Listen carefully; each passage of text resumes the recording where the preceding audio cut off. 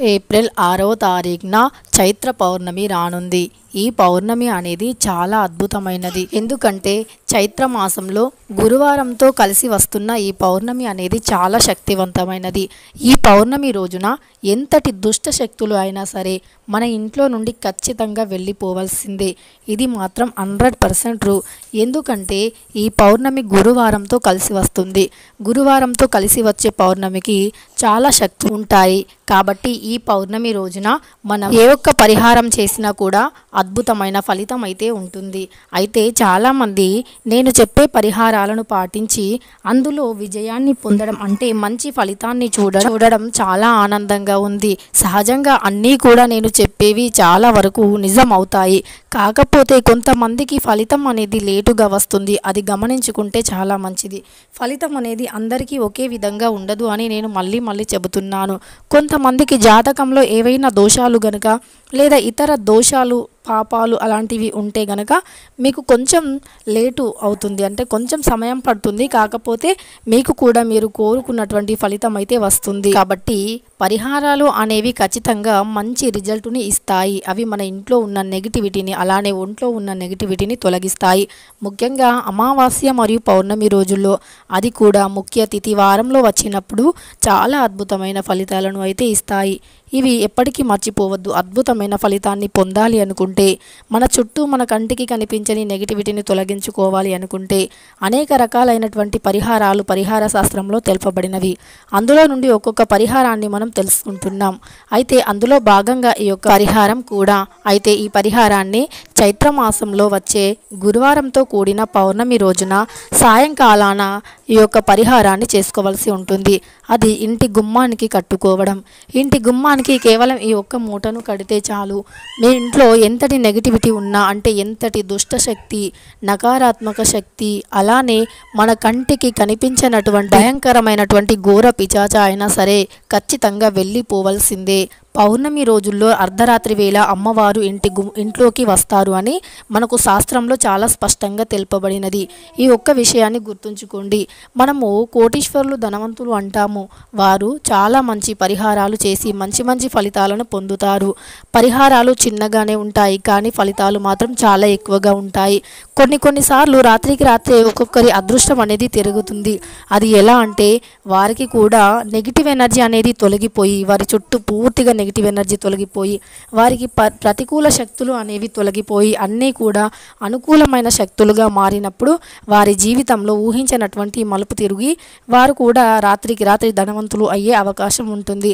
అలా మనం చాలానే చూసి ఉంటాము. ఇక మనకు అంతలా కాకపోయినా మన ఆర్థిక స్థితిగతులు అనేవి చాలా బాగుండి ఇతరులని చేయి చాచి అడగకుండా ఇతరులని ఇతరుల దగ్గర నుండి అప్పు తీసుకోకుండా అప్పిచ్చే స్థాయికి వెళ్తే చాలు అని కూడా చాలామంది అనుకుంటారు. అయితే చిన్న చిన్న పరిహారాలు పాటించడం వల్ల మహా అద్భుతమైన ఫలితం అయితే వస్తుంది. అయితే ఈ యొక్క పౌర్ణమి రోజున ఇంటి గుమ్మానికి ఇది కడితే లక్ష్మీదేవి ఇంట్లోకి అడుగు పెట్టడం ఖాయం. సాయంత్రం ఆరు దాటిన తర్వాత ఈ యొక్క పరిహారాన్ని చేయవలసి ఉంటుంది. లక్ష్మీదేవికి ఎంతో ఇష్టమైన ఈ మూటను ఈ యొక్క పౌర్ణమి రోజున మీరు కట్టవలసి ఉంటుంది. అయితే ఇంతకు ముందు కట్టిన మూటలు ఉన్నాయి. మరి ఎలా అని మీకు సందేహం కలగవచ్చు? పర్వాలేదండి. ఇంతకు ముందు కట్టిన అమావాస్య రోజు కానీ మంగళవారం రోజు కానీ ఇతర వారాలలో కానీ ఇంతకు ముందు కట్టిన మూటలు ఉంటే అవి అలానే ఉంచండి. లేకపోతే అవి ఇంతకు ముందు కట్టినవి బయట వైపు ఉంటే ఈ మూటను మాత్రం లోపల వైపు కట్టవలసి ఉంటుంది. ఇక ఈ మూట అనేది చాలా చిన్నగా ఉంటుంది. ఎవరికి కనిపించకుండా ఉంటుంది. పర్టికులర్గా దాన్ని పట్టి పట్టి చూస్తే అబ్జర్వ్ చేస్తే తప్ప ఇతరుల కంట్లో పడకుండా ఉంటుంది. అలా కట్టుకోవాలి. అప్పుడు లక్ష్మీదేవి ఇంట్లో స్థిర నివాసం చేస్తుంది. ఇక ఆ మూట ఏంటో ఇప్పుడు మనం తెలుసుకోబోయే ముందు చాలామందికి ఇంట్లో చాలా రకాల కష్టాలు ఉంటూ ఉంటాయి ఆర్థికంగాను లేదా ఇంట్లో అనేక రకాల సమస్యలు ఉంటాయి. ఇంట్లో నెగిటివిటీ అనేది ఎక్కువగా ఉన్నప్పుడు సమస్యలు ఇంకా ఇంకా పెరుగుతూనే వస్తాయి. అది గమనించి మనం ఏదైనా పరిహారాలను చేస్తూ ఉండడం వల్ల అవి మెల్లిమెల్లిగా తగ్గిపోతూ ఉంటాయి. కానీ అది గమనించకుండా మనం గొడవలు అనేవి పెంచుకుంటూ పోయి జీవితంలో సమస్యలు అనేవి ఎ- ఎక్కువగా పెరుగుతూ ఉంటాయి. అలా పెరగకుండా చిన్న చిన్న చిన్న పరిహారాలను ముఖ్యమైన తిథి వారాలలో పాటిస్తూ ఉండడం వల్ల మనకు మన జీవితంలో ఉన్న నెగిటివిటీ అలానే మన ఇంట్లో ఉన్న ఒంట్లో ఉన్న దరిద్రం మొత్తం కూడా పో పోతుంది. ఇక దరిద్రం అంతా పోవడం అంటే లక్ష్మీదేవిని ఆహ్వానించడం అన్నట్టే. అయితే మనం ఈరోజు అంటే ఈ చైత్ర పౌర్ణమి రోజు సాయంకాలాన ఏ మూటను ఇంటి గుమ్మానికి కట్టుకోవాలో ఇప్పుడు మనం తెలుసుకుందాం. ఒక ఎరుపు రంగు వస్త్రాన్ని తీసుకోండి. ఆ వస్త్రం అనేది కొత్తది అయి ఉండాలి. ముఖ్యంగా ఊకే కొత్తది అని ఎందుకు చెప్తున్నారండి? పదే పదే ప్రతిసారి కొత్త వస్త్రమే అని అంటున్నారు అని మీకు సందేహం కలగవచ్చు. మనం ఏదైనా పనిని చేసేటప్పుడు పనిలో కొంచెం నియమాలు పాటిస్తూ చేస్తే గనక ఖచ్చితంగా మనం ఊహించిన దానికంటే ఎక్కువ ఫలితాన్ని పొందగలుగుతాము. అయితే మనకు ఈ చైత్ర పౌర్ణమి అనేది గురువారంతో కలిసి రావడం మహా అద్భుతం అండి నిజానికి చైత్ర పౌర్ణ పౌర్ణమికి చాలా శక్తులు ఉంటాయి. ఈ యొక్క శక్తులు అనేవి మన ఇంట్లో ఉన్న నెగిటివిటీని తొలగించడానికి ఎంతగానో ఉపయోగపడతాయి. గురువారంతో కలిసి వచ్చే పౌర్ణమికి చాలా విశేషం ఉంది. అందులోనూ చైత్ర మాసంలో కాబట్టి మీ ఇంట్లో ఎలాంటి దుష్టశక్తి నరదిష్టి నరఘోష నరపీడ నకారాత్మక శక్తి ఇతర ఆ ప్రతికూల శక్తులు ఏ ఉన్నా సరే ఖచ్చితంగా తొలగిపోతాయి. అయితే ఒక ఎరుపు రంగు వస్త్రాన్ని తీసుకోండి చిన్న ముక్క. మీ అరచేయి అంత ఉన్నా పర్లేదండి. ఒక చిన్న ముక్కను తీసుకొని అందులో ఒక తొమ్మిది లేదా పదకొండు యాలకులను వేయండి. తర్వాత చిటికెడు పసుపు చిటికెడు కుంకుమను కూడా వేయండి.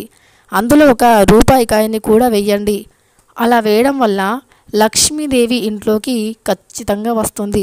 పౌర్ణమి రోజు రాత్రి అంటే అర్ధరాత్రి వేళలో లక్ష్మీదేవి ఇంట్లోకి అడుగు పెడుతుంది అని మనం ఇంతకుముందే చెప్పుకున్నాం కదండి. అయితే సాయంకాలం ఇంటి గుమ్మానికి ఇది కట్టడం వల్ల లక్ష్మీదేవి తక్షణం ఎటు ఆలోచించకుండా మీ ఇంట్లోకి అడుగు పెడుతుంది. అమ్మవారికి ఎంతో ఇష్టమైన యాలకులు. యాలకులు అంటే సుగంధ ద్రవ్యాలు. అందులో ఒక రూపాయి కాయను పసుపు కుంకుమ ఎరుపు రంగు వస్త్రం. ఎరుపు రంగు వస్త్రం ఎక్కడైతే ఉంటుందో యాలకులు పసుపు కుంకుమ రూపాయి కాయను ఎక్కడైతే ఉంటాయో అమ్మవారు అక్కడికి ఖచ్చితంగా ప్రత్యక్షమై వస్తారు. అందులోను పౌర్ణమి కాబట్టి ఈ ఒక్క మూటను మీ ఇంటి గుమ్మానికి ఏదైతే ప్రధాన లేదా సింహద్వారం ఉందో ఆ ద్వారానికి లోపలి వైపున ఈ మూటను కట్టండి.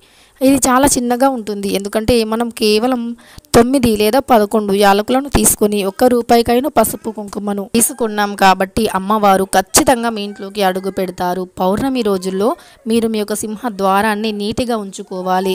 చాలా నీటిగా ఉంచుకోవాలి. రాత్రి పడుకునే ముందు సింహ ద్వారానికి ఉన్న డోర్స్ ఏవైతే ఉంటాయో ఆ డోర్స్ని చాలా నీటిగా తడి పచ్చి మనకు పచ్చి క్లాత్ ఉంటుంది కదా ఆ పచ్చి క్లాత్తో ఆ డోర్స్ని తూడ్చివేసి సింహ ద్వారానికి ఇరువైపులా కూడా చెప్పులు ఇతర చెత్త చెదారం లేకుండా చూసుకోవాలి. సాయంకాలాన సంధ్యా దీపాన్ని వెలిగించాలి.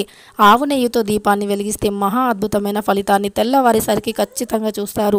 ఏ రూపంలో వస్తుంది అనేది తెలియదు కానీ మంచి ఫలితం అయితే మీకు ఖచ్చితంగా కలుగుతుంది. అది ఏదైనా రూపం కావచ్చు ఇంట్లో శుభకార్యం డబ్బు ఇతర ఏవైనా సమస్యలు ఉంటే అవన్నీ తీరిపోవడం ఇలా రకరకాలైనటువంటి ఏదో ఒక విధంలో విధంగా మీకు ఆనందం అయితే కలుగుతుంది అండి. ఇక పౌర్ణమి రోజుల్లో సింహద్వారాన్ని నీటిగా ఉంచుకోవడం ఇలా యాలకుల మూటను దానికి లోపల వైపు కట్టడం చేయాలి. మళ్ళీ ఆ మూటను ఎప్పుడు తీయాలి అంటే మళ్ళీ పౌర్ణమి రోజు తీసివేసి మళ్ళీ ఇలానే చేసుకోవచ్చు. ఇక ఈ వీడియో మీకు నచ్చితే ఒక లైక్ చేయడం మర్చిపోవద్దు. అలానే మన ఛానల్ని ఎవరైనా కొత్తగా చూస్తున్నట్టు అయితే సబ్స్క్రైబ్ కూడా చేసుకోండి. ఇంకా ఇలాంటి ఎన్నో మంచి మంచి వీడియోస్ మీకు నోటిఫికేషన్గా రావాలి అంటే ఆల్ ట్యాప్ అని నొక్కండి. ఇక ఈ మూటను మీ ఇంట్లో కట్టిన నుండి మీకు ఖచ్చితంగా మంచి ఫలితం అనేది రావ మీరు గమనిస్తారు.